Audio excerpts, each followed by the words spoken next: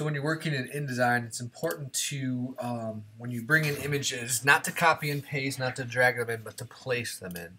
Uh, and there's a lot of different options with size and things of that nature. So I have a background color here. I made that background color just by making a, a square and filling it with a color. Instead of me accidentally clicking on this all the time, I'm going to lock this layer, start a new layer where I'm going to place my images in, place my images in. And now when I go to place, I'm going to choose this American Gothic image a 4 by 5 picture.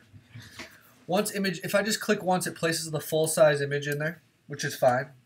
Um, you can do things like add outlines to it, just so it stands out a little bit more. Remember, in InDesign, you can view the print preview like so.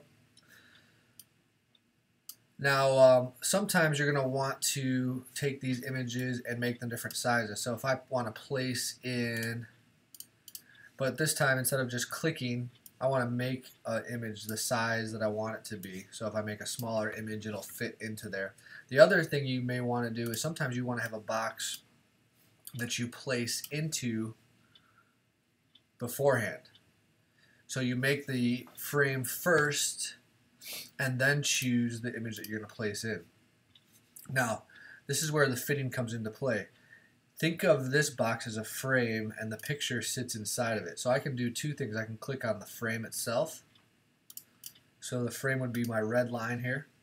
And if I click on this dot, it selects the actual image. And now I can move this picture within the frame, which is kind of cool. So I can size and adjust based on what I want to fit into that picture. I can also then change the frame size as well. So I can click on the frame itself and adjust from there. The other cool thing is you have all these fitting options too.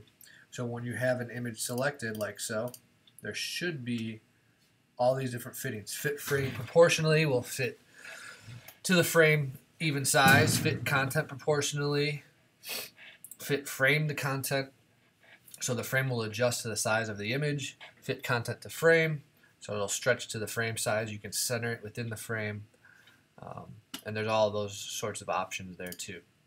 Not only can you place into squares, but you can also place into circles. And by the way, the, the shortcut is Command D to get that to pop open. So now it's not fitting in there very well. Maybe I'll say fitting, fit content proportionally. And still maybe need to stretch it a little bit so it fits that circle better. Maybe move this guy down.